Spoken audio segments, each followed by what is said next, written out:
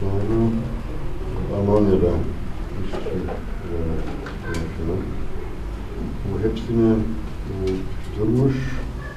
90 yıllar sonra Helvacı'ya kaçtılar. Elbacı'ya gittiler değil mi bunlar? O demek o köydekiler hepsi göçmüşler gitmişler oraya. Onların çocuklar Ee, Polat'ın kız kardeşi Aynur. Diğerlerini diğeri, küçükler o zaman şimdi büyümüşler hepsi. hepsi büyümüş, hepsi kaçtılar, hepsi geç gittiler. Gitti hepsi evlendi. Bugün çok önemli bir konuğumuz var. Ee, Sayın Peter Bunke 1970'li yıllarda Dersim'e geldi. Ee, Bir etnolog olarak e, burada çalışmalar yürüttü. Hmm, 74-78 yıllarında uzun süreler kalarak yani araştırmalar yaptı. Bu araştırmalar içerisinde çeşitli gözlemlere sahip oldu. Sonra onları makaleler haline getirdi bize duyurdu, dünyaya duyurdu. E, Dersim'i tanıttı. Dersim'le ilgili incelemeleri çok değerli. Makalelerini falan okudum. Kendisi de bugün Dersim'e geldi. Hoş gelmiş, sefa gelmiş. Sergi açtılar Martin'le beraber. Çok güzel bir sergi, değerli bir sergi. 1974-78 yıllarında Mazgirdi köylerinde, Muhundi köylerinde, çevresinde çektiği fotoğraflar bugün burada sergileyecekler. Biz de e, Sayın Peter'le bu o dönemde yaşadıklarını, bu bugün ne hissettikleri üzerine bir röportaj yapacağız. Ee, umarız güzel bilgiler, güzel şeyler size sunmuş oluruz. Teşekkür ediyoruz şimdi. Durch einen Zufall bin ich dann auf ein Dorf in, in, in Dersim gestoßen und habe, nachdem ich eigentlich erstmal nur so die sozi sozioökonomische Lage dort erfasst habe, von Anfang an gemerkt, da ist irgendwie ein, ein besonderer Duft, eine besondere Note, eine besondere kulturelle DNA am Wirken in, diesem, in dieser Gegend. Biraz tesadüfen Dersim'de bir köyde bulmuş, e, Mukundi'de. Orada e, ilk önce sosyal, ekonomik durumu araştırmaya planladı. Ondan sonra e, fark etti ki bu, bu burada özel bir e, tadı var, özel bir özelliği var Dersim'in. E, özel bir DNA var. E, o yüzden merak etti. Und dann habe ich auch angefangen, das war ja damals ein sehr politisiertes Klima in, in, in den 70er Jahren, mich mehr an die alten Männer und an die Seed zu halten, um was über die Geschichte von Dersim zu erfahren und über die Religion. O zaman e, Dersim çok politize oldu 70'lerde. O yüzden daha da yaşlılara e, ilgilenmeye başladı. Onlara e, reportaj yapmaya başladı, e, konuştu. Hem de seyitler yani ocakları. O, Dersim'in bu, bu yörenin e, tarihi ve dini araştırmak için. Ee, gerçekten de çok büyük bir emek var orada. Ee, başlangıçta e, işte sosyoekonomik e, yapıyı incelemek için geliyor ama sonra ilgisi kayıyor, fotoğraflara kayıyor, müziğe kayıyor. Ee, oradaki e, özellikle Alevilik kültürüne kayıyor, Alevilik yaşam alanına kayıyor. Ee, nasıl hissediyordu orada? Yani onlar ilk önce nasıl karşıladılar? Oradaki topluluk onu nasıl karşıladı? Nasıl içine aldılar? Sonra nasıl misafir ettiler? Ee, Das erste Mal, als ich hinkam, hatten wir einen, einen türkischen Studenten, einen Studenten aus Berlin dabei, der aus der Gegend hier stammte und der mich erstmal zu seinen Verwandten gebracht hat in Rijik. Und İlk geldiğinde bir öğrencisi vardı yanında. E, o kendi köyüne, kendi akrabalarına getirdi. Ricik köyünde. Und der ist auf dem, auf dem Foto, das jetzt auf dem Plakat ist, von der Schule in Mankerek, auf dem Harman, steht der junge Mann ganz rechts. Bu öğrenci e, afişteki fotoğrafta yani bu e, köy okulunda tam sağda duruyor bu. hiç ezberledin mi Petir Kürtçe parçaları? Yani bu e, diese Lieder hast du die gelernt, hast du die auswendig gelernt oder auch gesungen oder so? Ich? Nee, kann ich singen.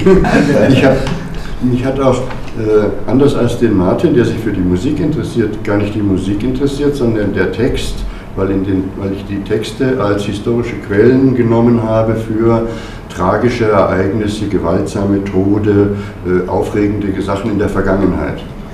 Martin'den farklı olarak ben aslında müzik, müziğe ilgilenmedim. Benim için aslında güfteler önemli. Güfteler e, tarihi kaynak olarak kullandım. Yani e, o yörenin e, yerli tarihi, trajik olayları, şiddetli dolu olaylar bu e, kılamlardan öğrendim. Sizin kaldığınız dönemlerde o zaman sol hareketler yeni gelişmeye başladı. Yani Dersim'de daha çok gelişti. Dev sol, dev genç, daha sonra partizan hareketleri falan. O gençlerin topluma yaklaşımı, oradaki e, kültüre yaklaşımları nasıldı?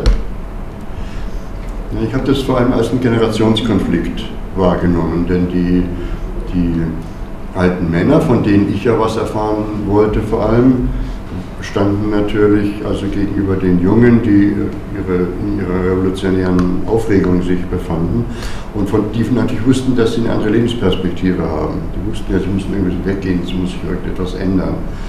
Äh, Gab es ziemliche Konflikte zwischen den Vätern und den, und den Söhnen.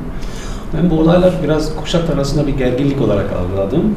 Ee, ben daha fazla yaşlılar da ilgilendim ve onlar değil yani gençler böyle devrimci olmaya başladılar ve gençlerin perspektifi çok farklı e, farklıydı o zaman. Onlar zaten e, köylerden çıkmak gerekiyordu. Onlar e, belki şehirlere, e, kasabalar, şehirlere hatta Almanya'ya gitmek gerekiyordu. E, böyle bir gerginlik vardı kuşaklar. Arası bir çatışmada Hı. yaşanmış orada. Das hängt Şey- auch damit zusammen, dass ich also gedacht habe, ich muss mir selber ein Bild und eine Erklärung für die Verhältnisse machen und die damals kursierenden Ideologien haben mir dazu nicht viel Neues beigebracht. Zaten e, köylülerin hayatlara kendi bir e, kendi gözlerle görmek istedi. E, yani bu göçün e, sebepleri anlayabilmek için ve o yüzden bu devrimci teoriler benim için çok faydalı olmadı. Yaşlılar konuşmak daha e, yaşlardan daha öğrendim. Görüşüyor musun Polat'la, Polat Şahin'le? Polat Şahin'le. Noch Polat Şahin? İch Sana yoğurt getiren sürekli yoğurt. Sevdin mi sen mazgirli yoğurtlarını sevdin mi? mazgirli Çok yoğurtlarını sevdim, sevdim tabii ya. Çok sevdim. Aber ich würde noch ganz gerne was hinzufügen, was jetzt vielleicht in diesen ganzen Artikeln nicht vorgekommen ist. In den 70er Jahren wusste in Deutschland ja niemand, was Alevi sind. Und von Dersim hatte kein Mensch eine Ahnung eigentlich. Ne? Bir şey eklemek istiyorum. 70'lerde Almanya'da Alevilikten hiç kimse bir, bir şey bilmiyordu. Yani Alevi kelime, kelime bile e, bilinmiyordu. E, Dersim'de nerede, ne, ne olduğunu hiç kimse bilmiyordu. Alevilik e, bir Hristiyan olarak sana yakın geldi mi? Yani e, nasıl bir şey olarak gördün? Yaşam tarzı ya da kültürel inanç, din yapısı olarak nasıl değerlendirdin? Orada Seyitlerle falan ilişkin oldu. Seyitleri gördün. Oradaki yerleşik yapıyı inceledin. Bunların makalelerinde de anlatıyorsun. E, sana göre e, ilk gözlemin neydi? Oradaki topluluğu nasıl gözlemledin? Nasıl bir kültür yapısına sahip e, ilerledin? Ekonomik yapılarla kültür yapıları arasında bir uçurum var mıydı? Was mich bis heute beschäftigt ist, dass ich auf der einen Seite weiß, dass es ursprünglich eine ganz alte Religion ist. Also das, das hat diese manichäische Geschichte mit Eline, Diline, Beline, Sahib, Olala, das ist ja 1500 Jahre alt. Ne? Und gleichzeitig ist es eine Religion, die aber auch sehr offen gegenüber der Moderne immer war. Und eigentlich gegen die alte und traditionelle Gesellschaft immer in Opposition gestanden hat. Und eine Religion, die zugleich sehr flexibel und beweglich auf die neuen Phänomene reagiert hat eigentlich. Das heißt auch, ich habe eigentlich gedacht, auch die jungen Leute, obwohl sie eigentlich nicht mehr sich selber gerne als, also als die Seth für feudal, feudal gehalten haben, haben in ihrem ganzen Denken und in ihren äh, Absichten eigentlich schon auch in der Fortsetzung von dem Alevitum, von dem erweiterten Alevitum agiert.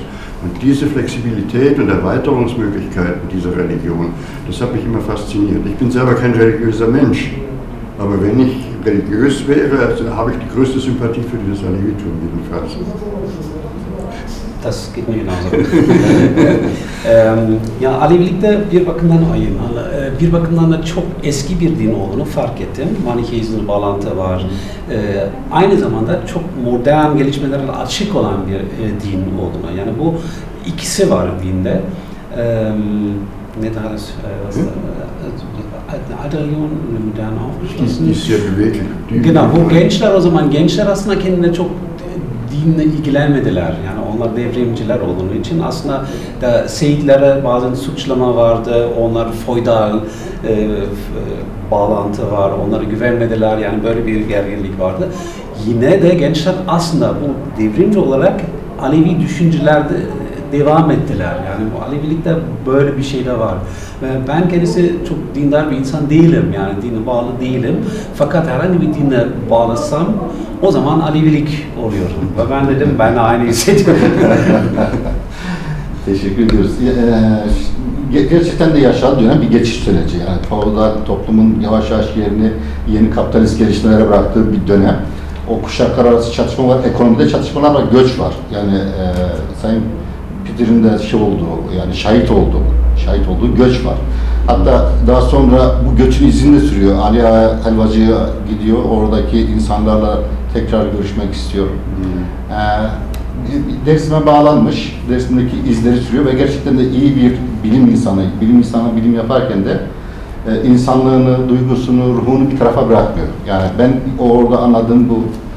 E, sevdi mi yani? Bu Dersim'i sevdi mi? Bir de dışarıdan birisi olarak Dersim'deki toplumu nasıl değerlendiriyor? Yani senin e, yani nasıl görüyorsun? Mesela bu kadar katliam yaşanmış, bu kadar göçleri yaşanmışlar, acılar yaşanmışlar. Türklerin hepsine dram giriyor. Anlatıyor kendisi makalelerinde diyor ki hepsinde ölüm var. Türklerin hep dram var. Siz nasıl görüyorsunuz? Almanya'dan gelen araştırmacılar olarak bu durumu nasıl değerlendiriyorsunuz? İkimizi soruyorsun şimdi. Evet. Ja. Sind überfällig. Ja, äh, ich bin gespannt, was du sagst, weil wir haben verschiedene Perspektiven. Yani Hmm. 70'de de yaşadı. ben çok daha sonra e, dersim gelmeye başladım. Hmm. O yüzden merak ediyorum. Ja, das, die, die 38er Ereignisse sind damals in dem Dorf eigentlich gar nicht erwähnt worden. Und irgendwann hat mir man, dann mein Lehrer eine, eine Fotokopie von dem in Aleppo erschienenen Buch von Nuri Dersimi gegeben. Und dann habe ich überhaupt zuerst mal reingeschaut, was das ist ne, und was da, was da passiert ist, weil kein Mensch hat das erwähnt. O zaman köyde hiç kimse 38'den anlatmamış. Hiçbir konu olmadı. Saklıydı. Ondan sonra e, birisi bana bu Nuri Dersimi'nin e, kitabı vermiş. Orada baktım ve ilk sefer bu bilgiyi aldım. Yani bu aramızda çok büyük bir fark. Çünkü ben gel, gelmeden önce bu, bu terteleden duydum, biliyordum. Yani ben e, 90'lardan e, dersime ilgilenmeye başladım. Herkes bundan anlatıyordu, özellikle Almanya'da. E, Almanya'daki dersimlere. Ondan sonra kitaplar vardı yani. Benim bilgim vardı zaten. Ama o zaman Türkülerdeki o ilan şey e, yani Türküler dinliyor ya orada hep bir dram var. Hı hı. Ee, o dramlar yani oradaki yaşam tarzı, oradaki hikayeler e, ona nasıl bir gözlem verdi topluluk olarak yani sosyo-kültürel olarak nasıl bir e, şey yaptı orada gözlem edindi. Es gab die auf, auf Kurmansch gesungenen Lieder über irgendwelche Ereignisse in der Vergangenheit aus der Gegend oder auch aus Bingöl oder Diyarbakır oder sonst wie. Und es gab die auf Türkisch gesungenen, also Pir Sultan Abdal Lieder und Mahsuni und, und all diese, und, und und diese re- religiösen, politischen Lieder, in denen ja ständig eine Verbindung von Kerbela mit äh, aber eben nicht Dersim 38, sondern mit Maraş und mit, später dann mit Sivas gezogen wurde. Ne? İki tarz klanları vardı. Bir de e, kurmancı e, klanlar. Onlar e, yöreden e, şiddetli olaylardan anlatılıyordu. Böyle trajik e, olaylar. E, hatta bazen klanlar e, Bingöl'den, e, Diyarbakır'dan e, gelen klanları söyleniyordu. Diğer taraftan Türkçe e, yani deyişler vardı. Değişler var. Deyişler vardı yani e, Aleviliğe bağlı olan hem de Masuri Şerif gibi onlar gibi e, şarkılar e, onlar da e, siyasi konulardan bahsediyorlar ve onların arasında bir bağlantı vardı yine. Sen de geldin çalışma yaptığın müziklerle ilgili bize çok güzel şeyler, veriler verdin, doneler verdin. Yani yaptığın araştırmaları, incelemeleri, topladığın değerleri topluma tekrar sundun, kazandırdın ve çok güzel. Sevgiyle, kitaplarla çok güzel kazandın. Teşekkür ediyoruz. Kendisine teşekkür ediyoruz. Yani Biz teşekkür ederiz bunu söylemek yani galiba ikimizin adından, adımızdan yani burada bir şey getirmek çok büyük bir şey. Yani biz çok heyecanlandık. Yani Berlin'de yıllardır konuştuk bu proje, proje üzerine ve sonunda gerçekten fotoğrafta burada ve çok mutlu olduk. Yani biz aslında ikimiz de farklı zamanlarda öğrenmeye geldik, araştırma yapmaya geldik. Bu, bu buradaki insanları anlamaya geldik. Sonra bir şey getiriyoruz. Bu acayip güzel bir şey ya.